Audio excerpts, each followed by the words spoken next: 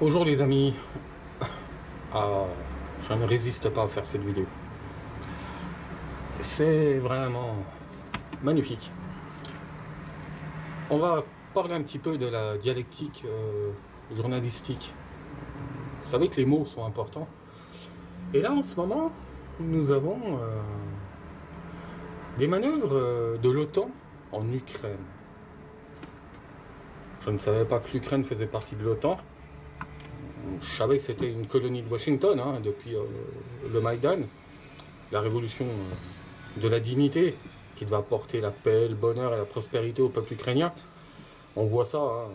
ils, font, tout pour se barrer depuis qu'ils ont plus besoin de visa pour venir trois mois dans l'Union Européenne. Je vais commencer par l'article du, Figaro euh, qui appartient à l'oligarque Serge Dassault, ce marchand d'armes qui, ne vit que d'argent public quasiment, hein. puis qui passe son temps à critiquer euh, les gens au RSA qui sont au chômage. Hein. Il ferait mieux de balayer devant ta porte, déjà, avant de nous emmerder.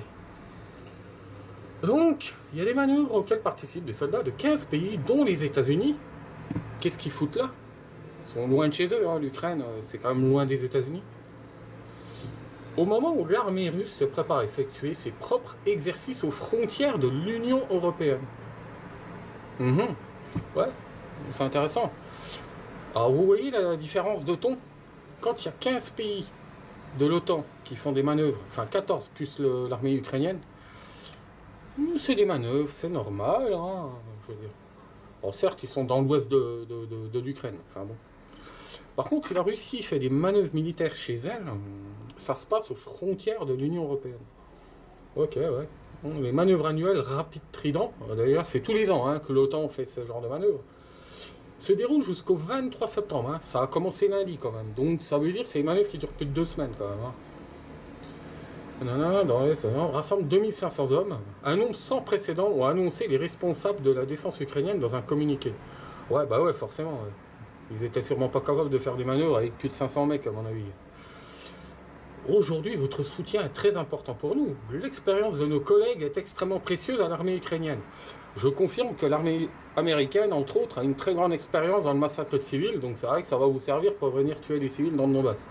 Parce que euh, les malheureux Irakiens, Syriens, euh, Libyens et j'en passe des vertes et des pas mûres, quoique la Libye, euh, les États-Unis ont délégué leur caniche franco-britannique pour aller massacrer les Libyens. Mais bon, c'est juste des succursales. Hein. La méthode est la même. Hein. On apporte la paix et la démocratie à coups de missiles dans la gueule. Donc dans le même temps, voilà, euh, les exercices Zapad 2017, donc c'est Occident 2017 déjà, hein. bande de mythomanes, c'est pas Ouest 2017. Donc qui auront lieu en Russie en Biélorussie, suscitant l'inquiétude des pays baltes et de la Pologne. Vous avez peur de quoi?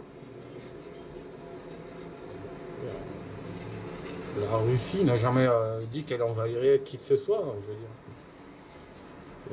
Alors, Moscou a annoncé que 12 700 soldats russes, biélorusses prendraient part à ces exercices de nature purement défensive. J'aime bien, hein.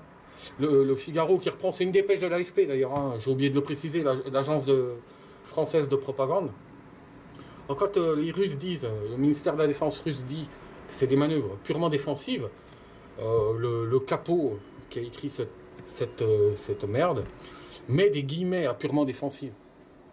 Donc ça sous-entend que bon, c'est pas vrai en fait. Que non, l'armée russe euh, fait des manœuvres dans un but offensif. Mais certains observateurs estiment qu'il pourrait impliquer jusqu'à 100 000 hommes. Alors c'est qui ces observateurs?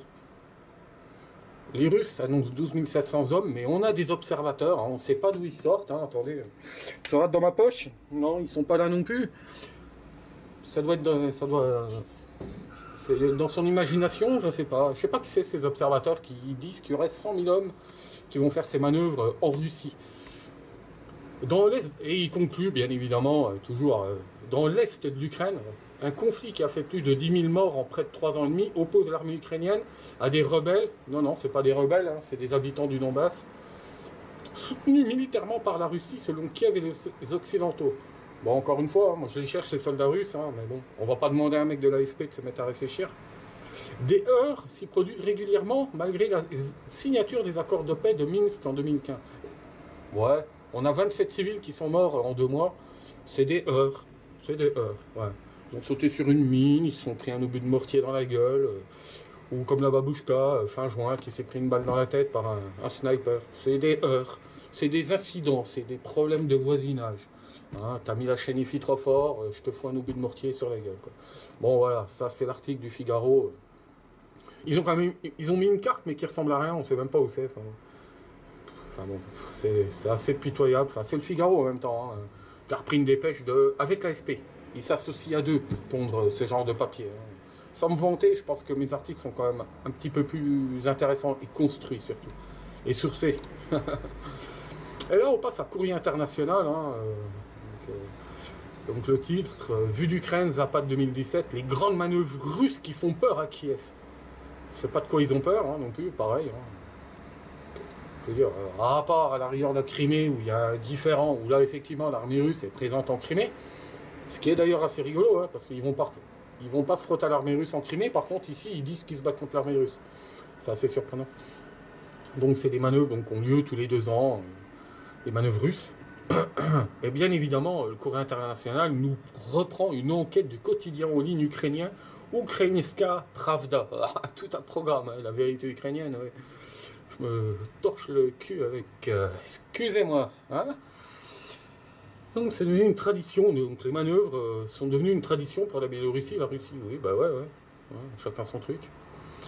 Elles ont lieu tous les deux ans, chacun des deux alliés, nanana, 2009, Mais l'ampleur de l'édition 2017 est sans précédent. Alors ce n'est pas vrai, hein, parce que c'est des manœuvres, euh, comme ils nous disent, qui ont lieu tous les deux ans et qui, regroupent en, règle générale entre 12 000 et 15 000 hommes. Hein. Donc il n'y a rien d'exceptionnel, c'est comme ça tous les deux ans. Hein, mais c'est la Pravda ukrainienne on va rigoler un petit peu, parce que la rigueur, quitte à faire, si on peut se foutre un peu de la rigueur, il n'y a pas de mal à faire du bien. Puis moi, j'aime bien en plus rigoler. Or, au cours des quatre dernières années, l'attitude de la communauté internationale a considérablement changé vis-à-vis de la Russie. Ah ben, on avait remarqué, effectivement, parce que purée, euh, heureusement que la Russie existe, hein, parce que je ne sais pas comment ils feraient pour justifier leur contrat d'armement. Hein. Après l'annexion de la Crimée et l'intervention dans le Donbass, il n'y a pas eu d'annexion. Mais bon, c'est la Pravda, encore une fois. Hein. L'intervention dans le Donbass, l'intervention, je vois pas de quelle intervention il parle, encore une fois. Le Kremlin est vu comme un danger pour tout pays où peuvent surgir des petits hommes verts. Ouh C'est quoi C'est l'armée euh, de la planète Mars, non, qui débarque? Allusion aux soldats déployés par la Russie en mars 2014. Mais non, bande de Mongols, encore une fois, arrêtez de buriner avec ça. Des soldats russes en Crimée, il y en avait avant 2014, hein, je le rappelle. Hein il y a une base navale en Crimée qui date pas euh, de 2014. Donc les soldats russes, il y en avait déjà. Il faut arrêter de débiter des conneries par barquette de 12. Hein, mes amis euh, journalistes, entre guillemets, ukrainiens. Sortez-vous un peu euh, hein, les doigts du fion. Dans la presse occidentale, donc c'est-à-dire la presse oligarchique, hein, qui appartient, comme vous le savez, à des multinationales, à des multimilliardaires, hein, donc affirme que pendant les manœuvres de Zapad 2017, la Russie va peaufiner ses plans d'attaque contre les pays européens. Oh la vache Allez, je sais pas ce qu'ils prennent hein, dans, dans, cette rédaction, mais euh, c'est de la bonne. Hein. C'est de la bonne. Hein. Parce que la Russie va envahir, donc euh, prépare des plans d'attaque contre des pays européens. On ne sait pas lesquels. C'est sûrement les pays baltes et la Pologne. Mais sans vouloir être méchant avec les pays baltes, entre autres, puis même la Pologne, Franchement, les Russes, ils ont vraiment pas envie de se coltiner des boulets pareils. Donc aller les envahir, ça veut dire qu'il faudrait se coltiner des boulets pareils. Vu le niveau de mongolisme qu'il y a chez, en règle générale dans ces pays, désolé pour les Polonais, hein, il y en a des très bien, mais enfin, ils sont quand même sacrément possédés au niveau de leur russophobie. Hein. Franchement, quoi. Hein. Ils, ont quand même un pet au casque. Il va falloir qu'ils se détendent de la rondelle. Ils sont pas. Voilà, C'est fini l'URSS. Il faudra peut-être avancer un peu, les garçons. En juin, le commandant en chef des forces américaines en Europe, donc en clair, euh, une armée colonialiste, il hein, faut dire les choses comme elles sont, comment se fait-il qu'on ait un, général américain qui s'appelle Ben Hodge, qui commande des troupes en Europe? Mais c'est quoi ce bordel? Est-ce qu'il y a un général russe qui commande des troupes en Amérique du Nord ou en Amérique centrale? Mais quand est-ce que ce scandale va, cesser c'est quand même incroyable. Et ça ne choque personne. Hein. ça passe comme une lettre à la poste. Quoi. Il y a un commandant, en chef des forces américaines en Europe. Mais on n'a pas besoin de vous. Cassez-vous. Vous nous emmerdez. C'est vous qui semez la merde chez nous. Partout où vous passez, vous semez la merde. Au Moyen-Orient, en Amérique du Sud, en Amérique centrale, en Asie, partout où vous êtes, c'est la merde. C'est la merde en Corée, c'est la merde au Moyen-Orient, c'est la merde partout où vous êtes. Rentrez chez vous, purée de merde. Il est vaste votre pays, vous pouvez faire la guerre entre vous. Au moins, vous nous emmerderez pas. C'est dingue. Moi, ça me. Ouais, ça y est, je suis énervé. Bref. Donc, euh, ce fameux général d'opérette, euh, le général Ben Hodge, a exprimé ses inquiétudes dans un entretien avec Reuters quant à une possible intervention russe le long des frontières des pays baltes pendant Zapad 2017. Quand la Russie est entrée en Crimée, cela s'est fait dans le cadre de manœuvres. Mais non, espèce d'abruti. Mais on va pas demander à un Américain non plus de connaître la géographie et puis euh, l'histoire. Hein. Les Russes, il y en avait déjà en, Crimée avant 2013-2014. Hein. Et puis en plus, c'est russe la Crimée. Hein. C'est juste, euh, il y a eu une parenthèse d'une soixantaine d'années euh, quand Khrushchev a, donné la Crimée à l'Ukraine. C'est russe, quoi. Enfin bon. C'est un bouffeur d'hamburger. Hein. On va pas non plus lui demander d'inventer l'eau chaude. Hein? Il veut pas rendre Texas, lui, puis la Californie. En ce qui concerne les manœuvres de cette année, la grande question est celle des effectifs déployés par la Russie. Et encore une fois, qu'est-ce que ça peut bien vous foutre? Les Russes, s'ils veulent même mettre un million d'hommes chez eux pour faire des manœuvres militaires, c'est leur problème, ils sont chez eux. Vous, vous n'êtes pas chez vous, vous êtes en Europe, c'est pas chez vous l'Europe. C'est clair? On sait bien que l'Union Européenne est une colonie des États-Unis, mais c'est pas parce que c'est comme ça pour le moment qu'on est obligé de l'accepter. Et moi, je n'accepte pas. Je vous le dis, barrez-vous de chez nous. Officiellement, 13 000 hommes y prennent part, dont seulement 3 000 Russes. Mais le décompte officieux aboutit à un résultat nettement plus important, évoquant de 60 000 à 100 000 participants. Mais il les sortent tout, il n'y a aucune source, hein, je vous rassure, bien évidemment. Hein. Encore une fois, moi quand j'écris des articles, je mets des sources, hein. je source ce que je dis. Là, il n'y a rien. Il faut croire le journaliste donc de la Pravda ukrainienne qu'il y aurait entre 60 000 et 100 000 soldats russes euh, qui font ces manœuvres. Et même en plus, si c'était vrai, qu'est-ce que ça peut bien leur foutre, encore une fois? Ils sont chez eux. Cité donc dans des documents sur Zapad 2017 mentionnés par le New York Times, il n'y a pas de lien, hein, c'est marqué New York Times et le Washington Post. En vu la crédibilité de ces journaux depuis quand même euh, pas mal de, temps, euh, on, va, on va prendre ça plus qu'avec des pincettes. Et encore une fois, hein, même s'il y avait 100 000 soldats russes, je ne vois pas où est le problème, ils sont chez eux, encore une fois. Les troupes américaines ne sont pas chez elles en Europe. Cassez-vous. Et encore une fois, de toute façon, il n'y a pas de lien euh, qui vous emmène sur l'article du New York Times ou du Washington Post. Hein. Il faut les croire sur parole, ces gens-là. Ah, attention, là, on arrive à du niveau encore, je sens que ça va être stratosphérique. Les analystes de l'agence américaine Stratford, ça sort d'où ça encore? Soulignent que le chiffre de 100 000 hommes provient. Ah, ben voilà. Ah, ça D'accord, ok. On y arrive là, là, on est dans la fausse sceptique. Hein provient du site ukrainien informnapalm.org. Dans le genre débile, je vous garantis que InfoNapalm, Informe Napalm, c'est vraiment, c'est le closer de l'information. Et je vais vous raconter une anecdote. L'année dernière, quand je commençais à faire mon intégration euh, chez Vostok, une unité donc, euh, du militaire du Donbass, de la DNR, ces, pitres ont fait un article sur cette euh, unité. C'est le 11e régiment d'infanterie mécanisée, Vostok. Et qu'est-ce que j'apprends pas? Qu'en fait, c'est un régiment de l'armée russe. Et moi, je me suis, sincèrement, je me suis bien poilé quand même, parce que c'est. Je m'engage donc, ça voulait dire qu'en fait, moi, en tant que Français, j'étais en train de m'engager dans un régiment de l'armée russe, quoi. Bon, vous voyez le niveau, quoi, je veux dire. C'est ça les sources. Voilà, voilà, voilà, c'est ça les sources, quoi. Non, non, le 11e régiment d'infanterie mécanisée n'est pas un régiment de l'armée russe. Hein. Il y a des volontaires russes. Il y avait des Français, il y avait des, Serbes. Bande de Mongols. L'attaché de presse d'Info Napalm, d'Inform Napalm, je vais vous passer son nom, hein, parce que si vous, allez passer à table au moment de la vidéo, nous a expliqué comment les membres de son organisation ont calculé le nombre de militaires russes. Bah, je suis vachement patient de l'apprendre. Quand on calcule les unités qui doivent participer aux manœuvres, il faut également inclure les hommes des unités de soutien. C'est pas faux. Pour une fois, ils disent pas que des conneries. Les cuisiniers, les mécaniciens, les terrassiers, et on arrive à 100 000. Ouais, Bah forcément, si tu comptes, euh, pourquoi pas, ouais, c'est plausible. C'est plausible, ouais. Quand on compte la logistique, de toute façon, aujourd'hui, euh, on a une logistique euh, toute armée, armée moderne, à grosso modo, trois hommes, euh, entre 3 et 4 hommes de logistique pour un combattant, il faut être clair. hein. Encore une fois, euh, où est le problème? Où est le problème? Ils sont chez eux. C'est le maximum qu'ils peuvent, peuvent déployer, rapporte Makaruk. Donc euh, c'est le titre de Informe Napalm. Pour l'heure, en Biélorussie, on recense déjà 20 000 Russes. À Vitebsk, il a l'unité spéciale Vitiaz sur l'aérodrome de Brusbiok, une escadrille aérienne et trois systèmes de missiles solaires S-300. Ouais, bah ouais. Puis alors? Encore une fois, c'est chez eux.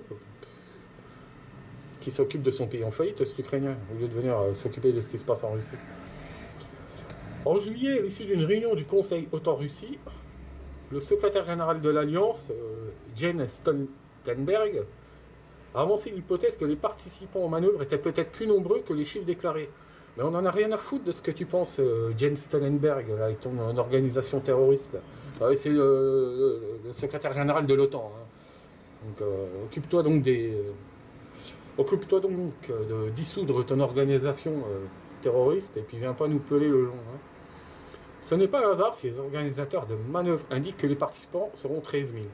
Car si officiellement ils sont plus nombreux, conformément aux documents de Vienne, ils devront laisser l'accès à des observateurs étrangers. Mais là, on apprend que la Biélorussie a invité les organisations internationales et les États voisins à envoyer des observateurs. Où est le problème alors? Si la Biélorussie, dont une partie des manœuvres ne se passe chez elle, où est le problème Mais c'est insuffisant pour appréhender les dimensions et le scénario de ces manœuvres. Arrêtez de nous prendre pour des cons, hein, on vit à l'heure des satellites et puis des drones. Hein. Me faire croire que les mecs, vous ne savez pas combien il y a de soldats russes et biélorusses qui font des manœuvres. Ils prennent vraiment pour des mongols, hein. sérieux quoi. Donc la direction au niveau stratégique sera assurée par les militaires russes. Ouais, bah c'est leur manœuvre. En même temps, hein, si vous voulez, quoi. Vous voulez peut-être que ce soit des Iraniens, non, qui fassent, euh, qui fassent ça. Et pour avoir un accès satisfaisant à ces manœuvres, afin d'en obtenir une vue d'ensemble, une autorisation russe est nécessaire. Or, la Russie garde silence. Mais ils n'ont pas de compte à vous rendre. Est-ce que les Russes sont en Ukraine pour superviser vos manœuvres? Quelle conclusion peut-on tirer d'événements que l'on ne peut suivre que sur un ou deux champs de manœuvre? Jusqu'à... Il y, a des, il satellites pour ça, hein, je suis pas inquiet les gars. Il faut pouvoir se trouver en plusieurs endroits ainsi qu'auprès des états-majors. Ouais, bah tu veux pas non plus qu'ils te filent leur numéro de téléphone non plus. Non, bah voilà, je veux dire. Voilà, on en est là. euh, arrêtez de, de lire ce torchon parce que franchement, ça me, je suis en train de perdre des... Mes yeux, ça commence à piquer. Donc voilà, on en est là. Au niveau propagande, toujours, c'est toujours la même rengaine. 15 pays de l'OTAN, enfin 14 pays de l'OTAN font des manœuvres en Ukraine, dans l'ouest de l'Ukraine, pas aux frontières de la Russie, mais enfin bon, à, quelques centaines de kilomètres. Bah bon, comme ils sont présents dans les pays baltes, en Pologne, euh, en Roumanie, dire, euh, quasiment toute la frontière russe, je veux dire, euh, ou biélorusse, il y a des troupes de l'OTAN le long, euh, plus quand même des pays hostiles, qui ont peur que la Russie les envahisse. Je veux dire, c'est clairement du délire. Et ça fait partie d'une stratégie de la peur, une stratégie du chaos, euh, pour détourner encore une fois l'attention dans les pays concernés, hein, que ce soit la France, la Pologne ou autre. C'est euh, pas penser printemps, mais c'est penser Poutine, penser Russie. Hein, comme ça, pendant ce temps-là, nous, on, on, vous, on vous passe des lois euh, pour casser le code du travail, euh, des lois de surveillance. mais c'est pour lutter contre la menace russe et la menace terroriste aussi. Ils, aiment bien, aussi, ils alternent. Un coup c'est la menace terroriste, un coup c'est la menace Russes, euh, des trolls. C'est pareil, ouais. contrôler Internet, c'est pour surveiller euh, Russia Today ou Sputnik. Et puis les trolls comme moi, les trolls russes. C'est vrai qu'on représente une sacrée menace. Hein. Non, mais. Bah voilà, j'avais envie de faire cette petite vidéo. J'espère que ça n'a pas duré deux plombes encore. Je vous souhaite une bonne fin de journée. Je vous remercie pour votre soutien, les premiers donateurs qui sont en train de me sauver la peau parce que c'est euh, c'est tendu du string, comme je dis. Là, euh, je suis pas encore au bout, hein, je vous le dis. Donc, euh, je relance pas un appel au don officiellement, ça me fatigue un peu. J'en ai un peu marre de tendre la, la gamelle. Là, j'ai eu euh, 88 euros de dons, donc euh, ça me permet, moment, ça me permet de payer le loyer. Euh, non, ça me permet pas de payer le loyer parce que j'ai 15 euros, euh, 15 euros de frais avec Western Union. Donc non, ça paye pas encore le loyer et encore moins la bouffe. Donc euh, Si les gens veulent me soutenir, ben, vous êtes les bienvenus. Hein. C'est plus que jamais le moment, je vous le dis. Voilà. Euh, je vous souhaite une bonne soirée. Je vous remercie toujours pour votre fidélité. Et puis je vous dis à bientôt les amis. Et bon courage parce que c'est pas de la tarte non plus en Europe. Hein. Ciao